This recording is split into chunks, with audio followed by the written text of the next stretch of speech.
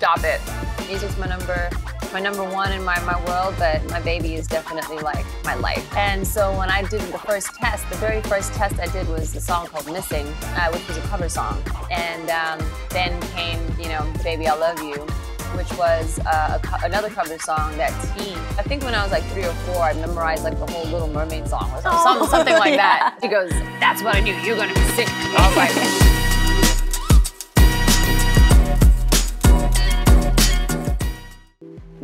ゥーフーズがお送りするオリジナルインタビュー今回のゲストはシェネルさんです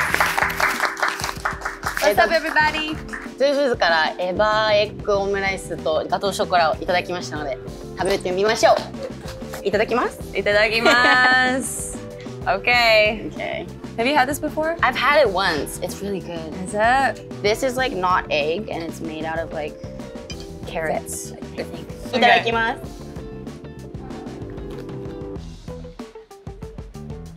Stop it.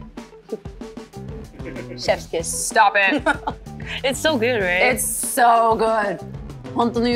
I know. What on earth? What? しかも全部ね、あの、の、の肉。の肉 all of it. This is all vegan, huh? All vegan. Mm. Mm. It's crazy.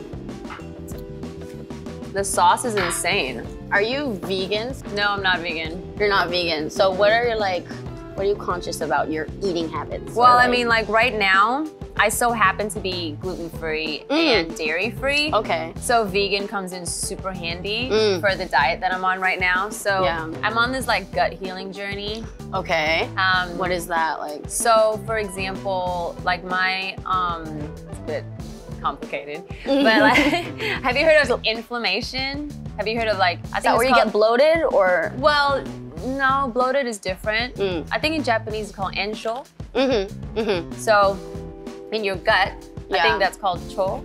Yeah, right? gut, gut health. Yeah, so like that area had a lot of inflammation. So if you're eating a lot of like dairy and gluten and stuff, your mm. liver gets overworked. Mm-hmm. And so like my specialist was like, you need to calm down and just go on a, on a super elimination diet. Yeah. So I took everything out. So all I all I ate was vegetables and, and meat and fish. So it's basically plain. almost pescatarian. Oh, and I guess you're eating meat too, right? Yeah, yeah, yeah. Just whole foods. Mm-hmm. Um, but no soy, no nuts, no dairy, no gluten. Yeah. No, like it's just so much so now I'm only slowly starting to bring everything in except for gluten and dairy. I'm just gonna wait yeah, a little longer. Yeah, so, but this is. But I see you on your, you're doing your fitness fitness journey. I see you on your Instagram. Very. you do? Yeah, I've been watching, I've been peeping. I mean, I, I feel a little bit like a, a tofu right now, but. No. Girl, girl. I haven't, I haven't been in the gym for like two weeks and it's like, it's catching up on me. I'm like, ah, because I've just been so busy, but. Well, you um, look amazing. Thank you. so do you. Thank you so much. Just gonna get an introduction of you, where you introduce yourself and you know activities. What do you do? Who is Che'Nelle? Oh my gosh, what do I do? gosh, where do I start? I mean, aside from like singing and, and doing my artist thing, mm-hmm. I'm a mom. yeah. I'm a total mom, girl. Mm-hmm. And sometimes when I look at my daughter, I'm like, wow, you're really my daughter.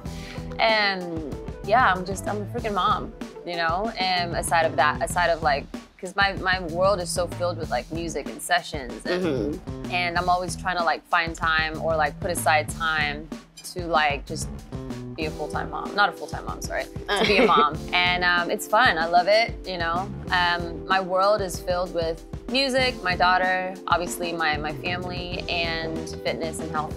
That's my life. Mm-hmm. i feel like it's like does it ever get hard to like balance it out yeah. no it does. Um, luckily for me like I have a really good support system. You know, like I have my mom, mm. and um, you know, I have like an amazing babysitter too, and so it, you know, and my husband is a great, great dad. Like, oh my gosh, Aww. like I can totally leave leave my daughter with him, and he just yeah. he's just an amazing dad. Oh, um, that's so good. And so yeah, I just have an amazing support system, but it is still hard, you mm-hmm. know, because like I'll I want to just always be with her. You know what yeah. I mean? Because it's like she grows up so fast, you're gonna miss little little things. you know, she changes like every day. Then you have to step away and go do work. I know, and- I, I know. Just yeah, even like tonight, you know, Yeah. I'm just like, mommy's gonna be home later, you know. So, um, but but she's she's great, and and that's my world, and I and I love it. You know, music's my number my number one in my my world, but my baby is definitely like my life. So Your life, yeah, yeah, yeah. Mommy life. yes, yes. Sorry, I'm getting super nervous right now. Why? Just having little nervous times. Okay. What? Let's put some alcohol in your here. drink. Cheers. Um, Cheers. I was like, she's getting nervous. I was like, let's put some alcohol in her drink. I think there is a little bit, maybe. I don't know. Taste a little bit. Oh my god. I don't think it's that one. ginger. Oh. This is like real ginger. Ooh. Wow. Is it strong? It's a boy. Woo!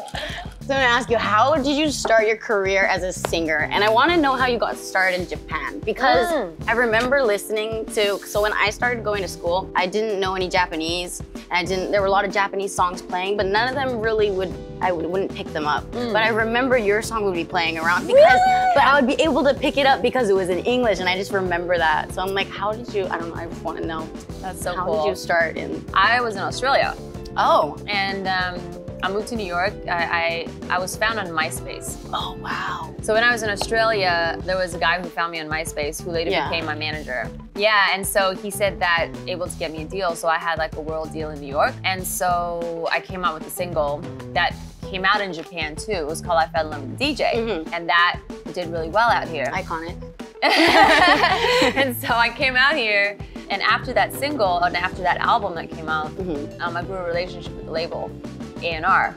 And I just kind of played around one day and, and just said, hey, I, you know, I'll sing in Japanese. Like, I'll give it a shot. you Yeah. know? and um, it, it went from like a funny conversation to us really trying it. And so when I did the first test, the very first test I did was a song called Missing, uh, which was a cover song. And uh, apparently that went really well. They tested the market, and um, then came, you know, Baby I Love You, which was uh, a co- another cover song that TEE, there's an Yeah. artist named TEE did, Yeah. and I did that in English. That was that was when the road really started. Yeah, because That- that, was the song that I remember was playing everyone. I was like, oh, I know what this is. I can understand it. Yeah, so that was that was like how how I got here and and how I started singing J-pop. Was it hard to like sing in Japanese? Because would you speak in Japanese a lot, or? Girl, we'll be speaking Japanese right now. Japanese. I guess. My Japanese is, you know, it's okay. It's it's, you know, it's it's okay. I feel like that's so like challenging to try to sing in a language that's not your first language. Yeah, which is weird, right? And Yeah. sometimes like I just I don't know why, um, but this is this is my journey, you know. And um, I it took me years to learn and accept the fact that oh, I'm this is really what I'm supposed to do. And now I'm in a place where I'm just like, okay, let's just keep going and um, and just I love this, you know. I love it, and my my family loves it here, and I'm thinking about moving here, and I just yeah Oh. yeah. Nice. Yeah, so I'm just gonna keep putting out music and Mhm. I'm still gonna learn, continue learning Japanese until I get somewhat, somewhat of, uh, you know, conversational level, hopefully. Yeah. It's a process. It's a journey. yeah, yeah, for It sure. always is. Mhm. Advice for me as an English Oh my gosh, do I- Do I have advice for you? I, you know, Japan is pretty like, I, I'm, being in the music industry is tough.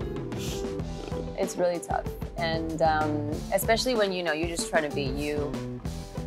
Um, there's going to be a lot of opinions around you. yeah.